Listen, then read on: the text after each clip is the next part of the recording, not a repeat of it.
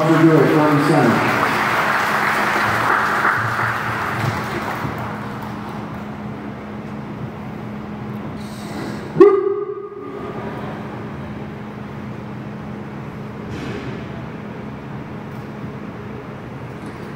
This moment. Whew. Okay, we made it to this moment. Uh, thank you for coming, everybody. I'm nervous. I'm super nervous. So the thing to do when you're super nervous uh, to break the ice is you make sure and pay respect to those that are there before you. Mom and Dad,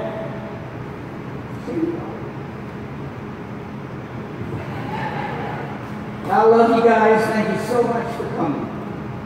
Thank you for coming to my ceremony and traveling. Miss Vicki, thank you for flying in. I can't thank you enough for your friendship and you traveling to be here with us. Lucas, Miss Ella, my niece and nephew, I love you guys. I love you guys very much. Thank you so much for being here. Aunt Patty and Petit, all my life, they've been there for me. Support me the way. Thank you. Master Sergeant Michael McDaniel and crew. The posse. My family throughout the years, my best friends. Thank you for being here. Thank you so much. Mo, Major Moses Thomas, my mentor, my teacher, always supporting me, always coaching me, always correcting me. God bless you. Thank you for coming. Thank you so much. Lieutenant Colonel Kelly Jones, a mentor, a teacher, a supporter, encouraging, teaching, pushing me to do the right thing, to do good work, to help others at all times. Sir, I really appreciate you always putting up with me. Thank you very much. Semper Fi, thank you for always taking care of me and being a mentor and teacher to me. To the crew, to the sailors here, thank you so much. Thank you for spending this time with me.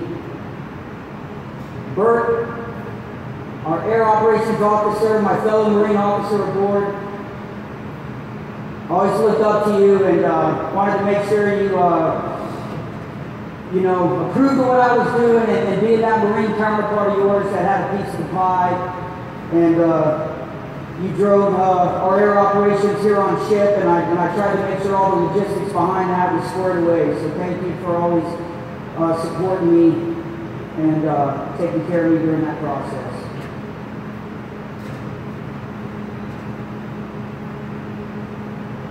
So I got some themes. I don't need to take too long. The thing about these speeches is you can't go too long with them. Somebody in the back checks their watch, or you know, we got we got more stuff to do on the plan of the day, so you start checking watches and, and seeing what's next. I'm, I'm well aware of that. So I'll take a, just a few moments. I'll check my watch. Time on deck 1041. We'll keep this down. And like I said, just super nervous. So I I wrote down some themes for to, to give a speech so I can have a big blue arrow and stay on course. So uh, one of the themes, I got four. I'm to pick one. The first one I had was the Marines give an overly political, elongated speech about the higher chain of command, even though you're not qualified to speak towards that. I think I'll skip that one.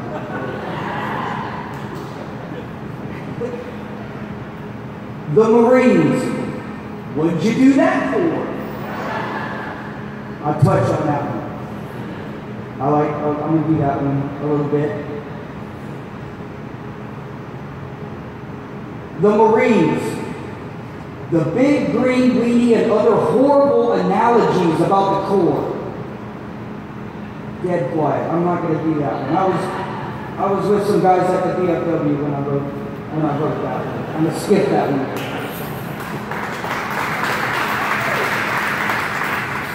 The Marines. Navy and Marine Corps integration. Is it really working? I'm going to touch on that one, I think, too. I'm going to touch on that one. But I'll go back to this one real quick. The Marines. What'd you do that for? Well, now that it's over, I'll, I'll try to get over being nervous and I'll just do a, a really quick story time. It was the 80s, the early 80s. Probably going on to Camp Lejeune, I believe. Could have been 83 or so, about six or so. I'm in Dad's truck. I'm looking at the, the sign for the Marine Corps base as we as we come aboard. And I was wanting to talk to my dad about stuff or bring up conversations. So I'm like, Dad, what does it deal with the Marines? I mean, they're kind of like the Army, I guess. And my dad looked at me with his dad face, kind of does this, kind of talks to himself a little bit, like, and then he's thinking about what he's going to say. And to, to my comment, Dad, what are, Marines all about? They're a lot like the Army. And he explained it to me, and I never forgot what he told me. He said, Son, the Marines are like soldiers from the sea. They do have weapons and guns and trucks, and they got a lot of it. And we're really good at using all that stuff. But the things that makes us different is that we come from the sea. And we've been doing that with the U.S. Navy as long as there's been a Marine Corps. So as a little sixth grade boy, I learned quick there was something different about the Marines. And they were indeed a fighting force, but not like the Army and all that land stuff. It's Marines come from the sea. So through the years growing up in the 80s, I was always loved to express myself. I loved to put up skateboard posters all over my room and play my trumpet and do things that I like to do to uh, express myself, right? It was the 80s, you could do that then. But there was all and all that self-expression and all the skateboard pictures and all the CDs and tapes and records and all that stuff, I always kept a little spot. I kept a little spot in my room that was dedicated to the Marines because I would see my dad come and go, come and go to work, live around the bases, live around Marines all my life. It was just my environment growing up. And uh, I knew there was just something special there about it, even though I was too young to do anything about it, to really, you know, really get into it a whole lot other than understand, you know, what my dad did as a Marine and understand that there's bases and Marines come and go, and deploy, and they work hard, and they get called up, they got to go. That little spot in my room, I always kept that, and I was very proud of that little spot. So by the time I was 18 and 19, and doing absolutely nothing my parents approved of, and just really just doing nothing that, that would seem like some sort of a big blue arrow positive direction, you know, worrying my mother to death.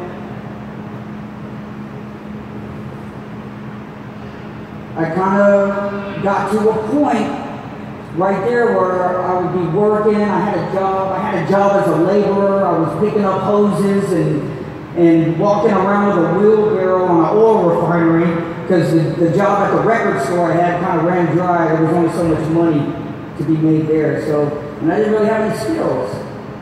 So uh, I went going to school and I was rolling hoses and walking around with a wheelbarrow and being a laborer at the oil refinery. And uh, it wasn't certainly wasn't getting out of hard work, but that was a little bit of inspiration. I knew that I wanted to do something more. And I would think back to that spot in my room where I always kept a uh, little shrine towards the Marine Corps. So the Marines, what did you do that for, right? Um, I did it because all my life I just knew there was something special right there that, that was different and that they were not like the Army and they were the best force ever, and I had it in my head that I was ready and willing to serve my country. And I'll be damned, I was going to walk into a U.S. Army office. There's just no way I was going to do that.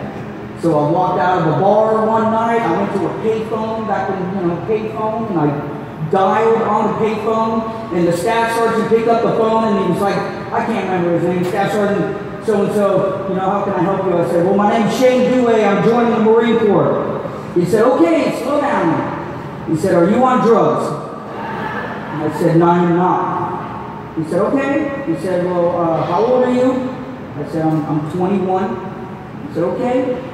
He said, Did you graduate from high school? I said, I did. Okay. He said, uh, Well, are, you in trouble with the law? And I said, I am not.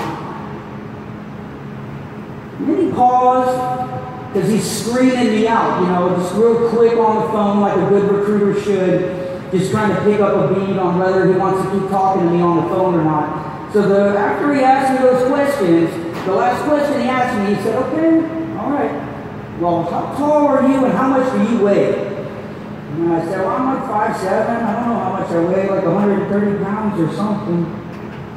And he goes, okay, all right. Do you need a ride? And I said, I, I, I do. I need a ride. You can pick me up. So this Marine Staff Sergeant came up to the bar, and I left that payphone, and I got into the vehicle, and it's at that time, you know, I let him know. I was like, hey, look, here's the deal.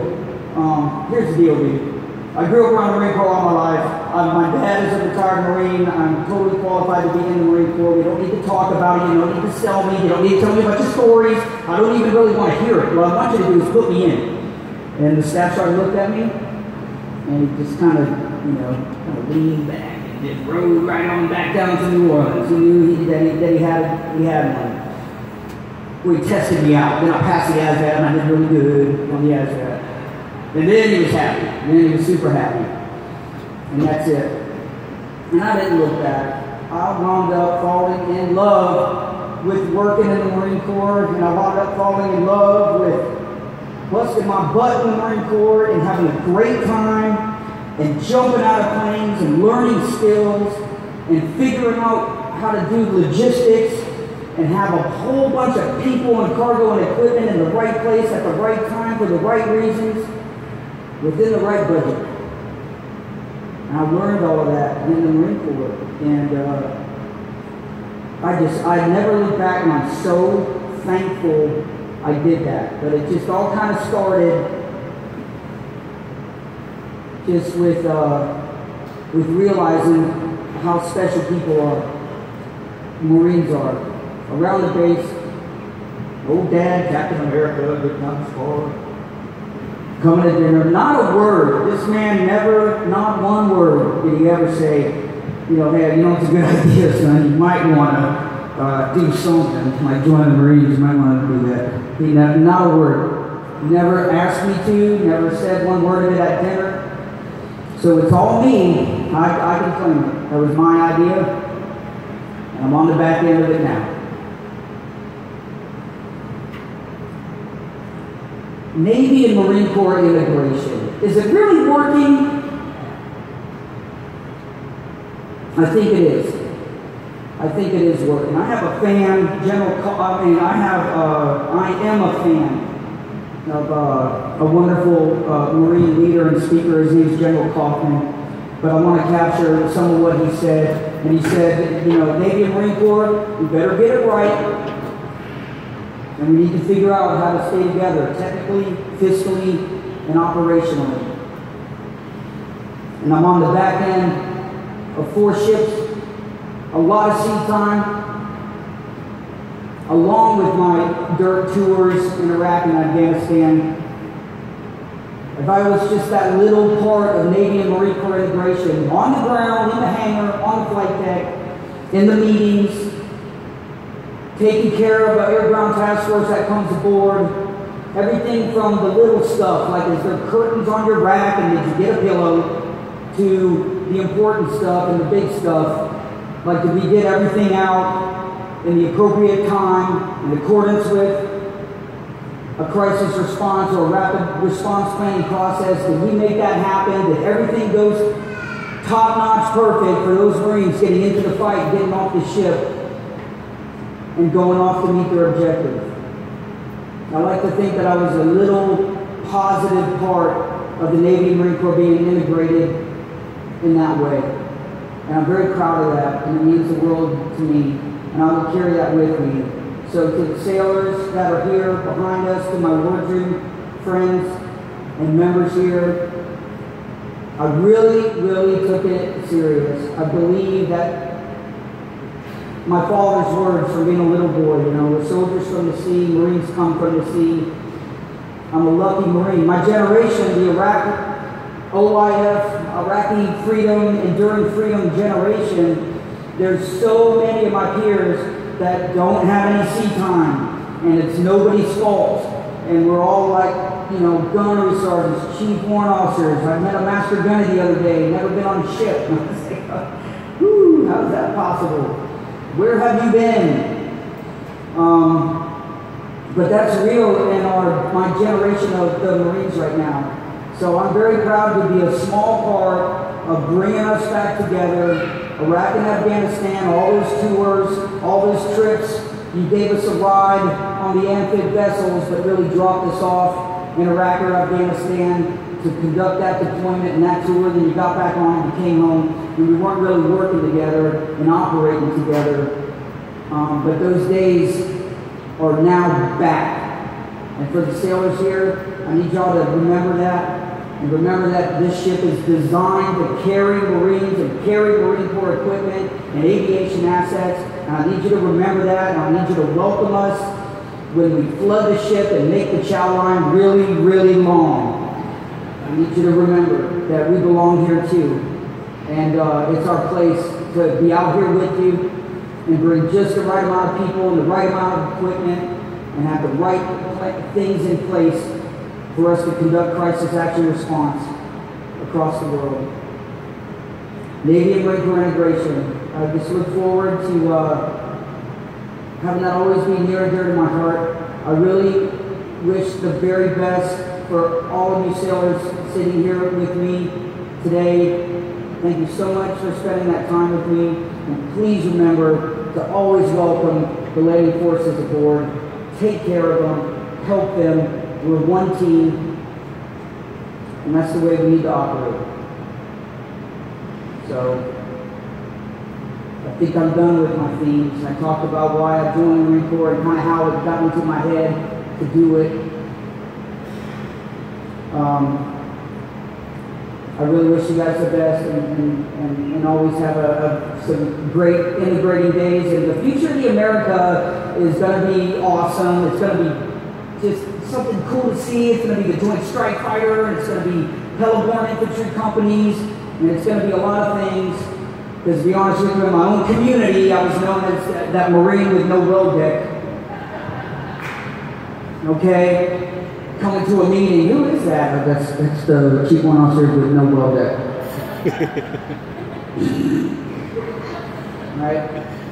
So that's one way to look at it. The other way to look at it is plenty of fuel, strike capability, away from the beach, lots of capability, lots of things to bring to the fight, command and control vessel.